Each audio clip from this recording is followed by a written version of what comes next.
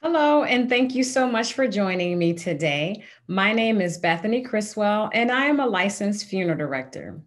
Today, we'll be, we will be talking about FEMA's Funeral Assistance Program. Now, I know you may have heard some information on the news, or may have talked to family and friends about it, or even seen something on Facebook. Today, I hope to share with you some information that will help you get acclimated to the process as well as who's eligible and the guidelines in which you may be eligible to receive this money. First off, what exactly is FEMA's Funeral Assistance Program? This program offers funeral assistance to families who have experienced the death of a loved one due to COVID 19.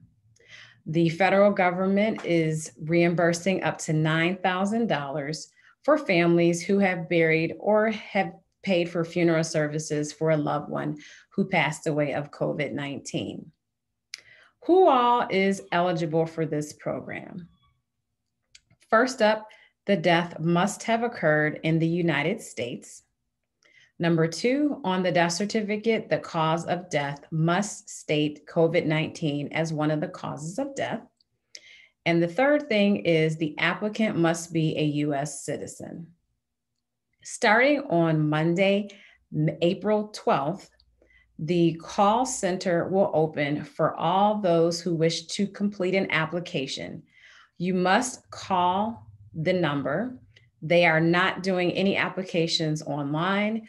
In order for you to start the application, you must call the FEMA Funeral Assistance Hotline. And that phone number is 1 844 684 633. So, once again, starting on Monday, April 12th, you must call the number, the FEMA Funeral Assistance Hotline number, which is 1 844 684 633 to start your application. They will be open from 8 a.m. to 8 p.m. Central Time, Monday through Friday.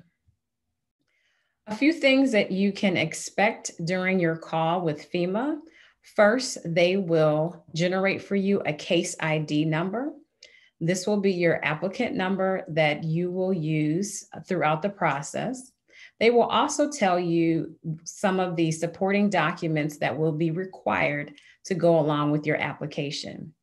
You will be able to either fax these documents in, mail them via US mail, or they will provide for you a web address for you to upload the documents.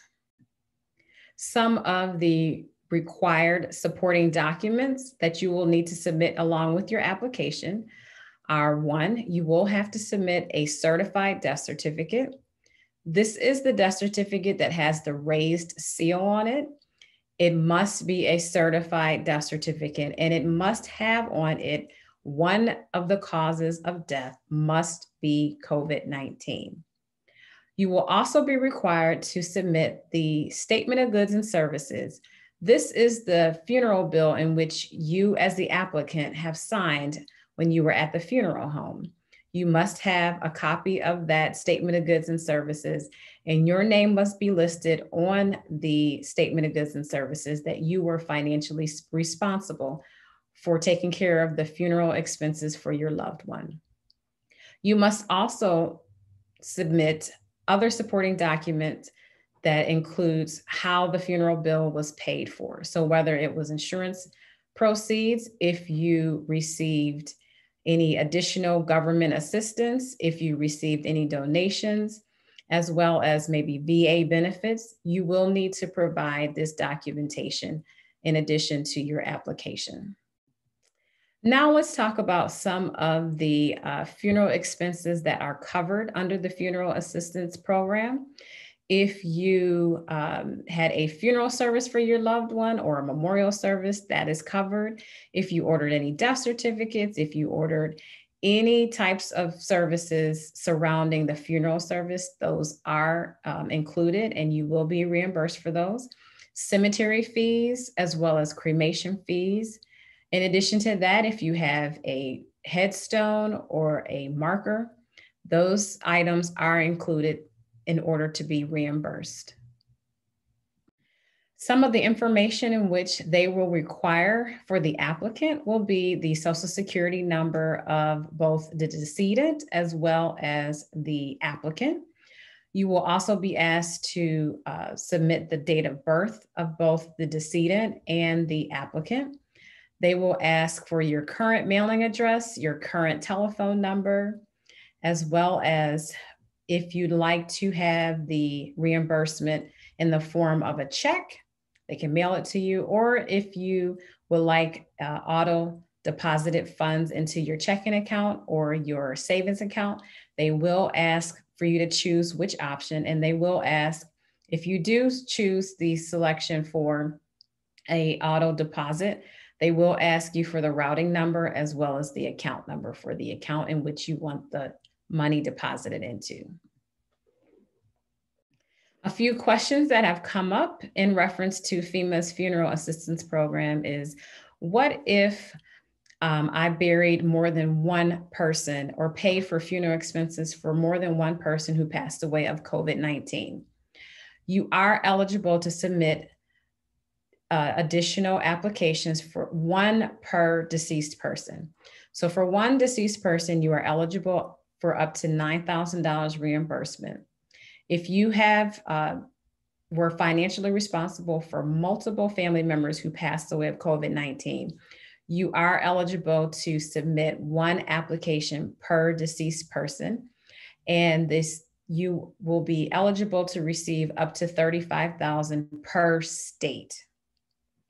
So if you have been resp- financially responsible to handle the funeral arrangements for more than one deceased person who passed away of COVID 19, you will be eligible to submit that information to FEMA's funeral assistance program to be reimbursed. Like I said, it is 9,000 per deceased person and up to 35,000 per state.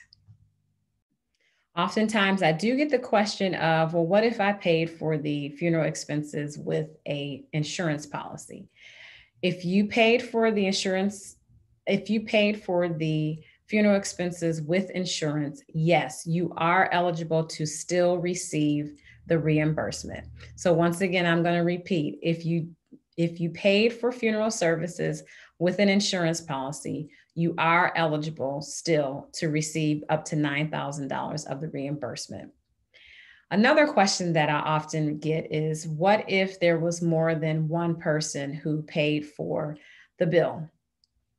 FEMA's uh, funeral assistance program only allows, they generally only allow one applicant per deceased person.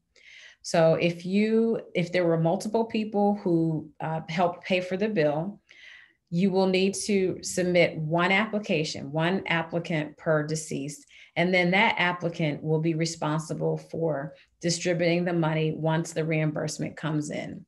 Now, say if there are two people who signed the statement of goods and services, FEMA will allow for one applicant and one co applicant to apply for the funds.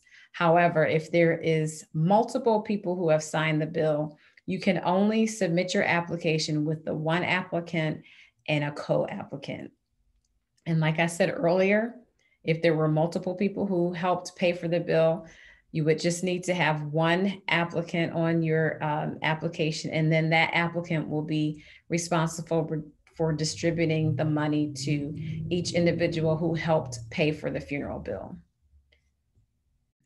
And lastly, I'd like to share with you that there is a current scam right now going on. So I want people to be aware of what that scam is. Uh, people are calling and um, saying that they are representatives of FEMA's funeral assistance program, and they will try to get you to register.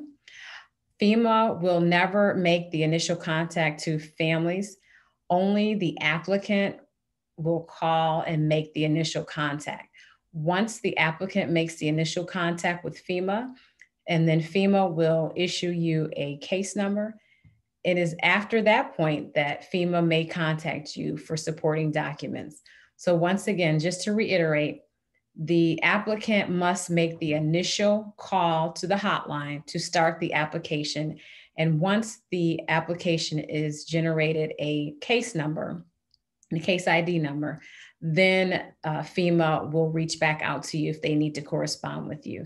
So please be aware of that scam. You don't want to ever give any personal information out to anyone claiming to be from FEMA. You want to always reference that uh, case ID number and you want them to reference that case ID number as well. So I am going to share my screen with you just to give you the information as far as the phone number to call again, as well as the date in which you will be required to call. That number, once again, is 844 684 6333. And they will begin taking applications on April 12th, which is Monday. And their office will be open Monday through Friday from 8 a.m. to 8 p.m.